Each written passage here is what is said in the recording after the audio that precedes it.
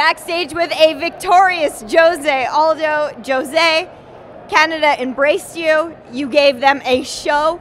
Talk to me about this fight with Jeremy Stevens. How good does it feel to get this win? É, acho que eu adoro o Canadá. Foi aqui onde tudo começou, minha carreira. Primeira luta no UFC foi aqui no Canadá.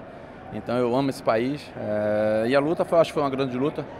No começo eu passei um grande perigo, mas eu pude suportá-lo e vencer a luta. Did you feel like it was nerves? What made you struggle in the beginning? This is a this is a tough situation to be in.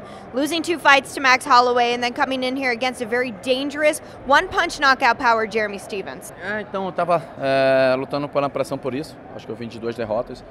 Eu sabia que eu tinha que vencer o Jeremy. Então, o Jeremy é um cara muito duro. Yep. E eu pude chegar e vencê-lo.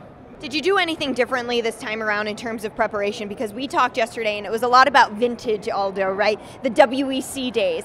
But what really do you think made the difference in this camp? Sim, é, treinei muito kickbox e jiu-jitsu e wrestling. Acho que foi assim que eu fui o campeão no WC, então por isso que eu tentei voltar às minhas origens. It certainly worked out for you, Jose. I know that obviously the belt is the end goal for this, but is there anyone else in the top 10 you can see yourself facing before you maybe get a title shot? Acho que a próxima luta não tem como não ser como o Brian Ortega, é um cara que vem subindo na categoria, então acho que ele seria uma ótima luta. Brian Ortega.